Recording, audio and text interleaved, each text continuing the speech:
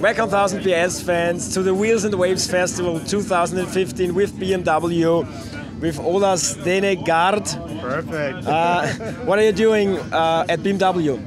Um, yeah, what am I doing? I'm, I'm, I'm actually head of vehicle design, but um, last couple of years I've been doing a lot of other stuff too. But but this is this is my my real job.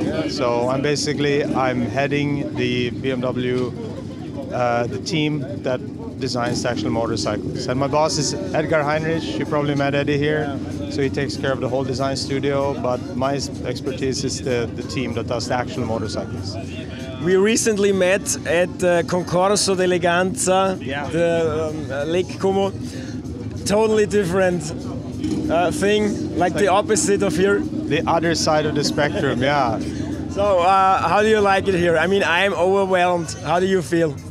I love it. It's the third year that we're here, and um, it's been growing every year. I mean, first year we were here, we were the only OEM here, and we just had a little small thing. We brought the Concept 90, and it was really small.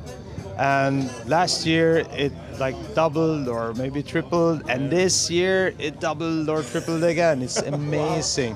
But the coolest thing, and I, I really want to emphasize this is that Vincent and the Southsiders, even though it has grown so much, they really managed to maintain the spirit of Wheels and Waves, and it's it's really awesome. I mean, you look look like a guy who's right here, you know, in the right place. Um, one of my favorite bikes of the last 10 years was the R nineT. So Oh, I think, what did you do before the R nineT? What did you design before the R nineT? Um, when I was still working, like I've been heading the team for the last five, six years. So, uh, but the last bike that I actually worked on myself as a, as a principal designer uh, was the S1000RR.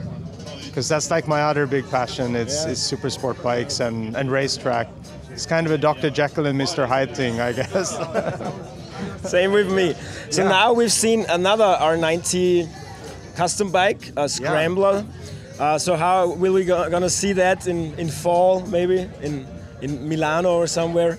I don't know, should we? You like it? I don't know. Yeah, I like every Yeah, no. every boxer uh, a custom bike. Yeah, I, the I boxer there's- for me is the best engine for this. There's so many cool custom bikes here. What people are doing in their creativity is amazing. When it comes to this bike, uh, this is actually a bike that we could turn around quite quick for production if we get the right response, and that's what we're looking for. I mean, on one hand, we really want to pay. It's almost like a payback to Vincent and, and the Southsiders and Wheels and Waves. Like we want to bring something special back to them for, for this past three years. And on the other hand, it's of course, you know, we want to gauge to see what people think about this bike, you know, and, and if we get the right response, why not? You know, this is something we can turn around really quick. I hope so. I, I, I rode it first time yesterday, and it's it kicks ass. It's really fun. it's really fun. So when you look around, what um, what are you taking with me? Have you seen anything where you say, "Hey, that, that's that's a good idea. That's we're gonna try that."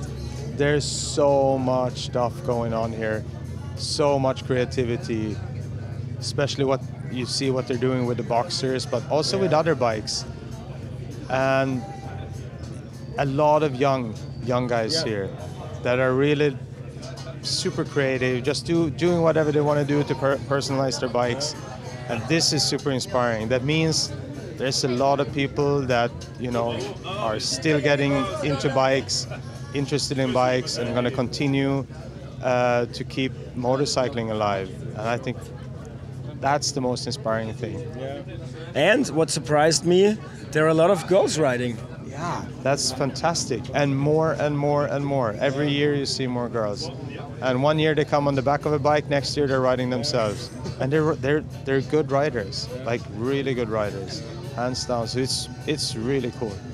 So as I said before, R nineT, my favorite bike at the moment. So um, will we see more of that stuff? Will you have kind of a heritage line maybe in the future?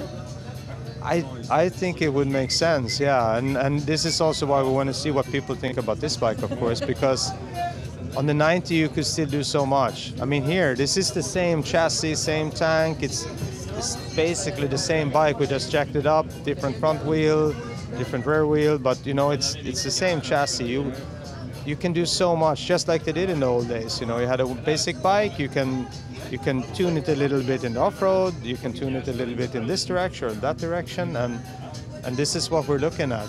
And uh, now we're curious what people think about this one, and I hope we get they like it and we can turn it around quick. Five or uh, seven years ago, I think uh, there was no R nineT, so I bought an R1200C, the cruiser, uh, and it looks uh, like a like a military bike now. Uh, but not not you know uh, I underestimated how how costly it is. So maybe you could take care of it in the future. Keep the bike simple. I think that's the that's the key. Yeah. And I think that's also why the 90s is such a good bike. It's just a simple, pure bike. Easy to work on, easy to change parts, easy to make it your own. And also here when I walk around and see I haven't seen I haven't honestly apart from our bike that we brought here with like our bikes that we brought with the press fleet for for for us and for guys to test, I haven't seen a stock bike out there, a stock 90. They're all modified and it's it's it trips my trigger more than anything. It's amazing. That was your best work the last years. No, It's a big team behind it too, or a big team. It's it's a team behind it, and uh, especially the project leader Roland Stocker. He has he's been amazing throughout the whole project, and these are the guys that make this this this this bike work. So yeah, we are looking forward to the future. Thank you very much. Thank you very much. and have fun. It's raining now, but it's gonna stop. It'll, it'll stop. We go back. Do we go back riding? It's, it's all good. Thank you very much. Thank you very much.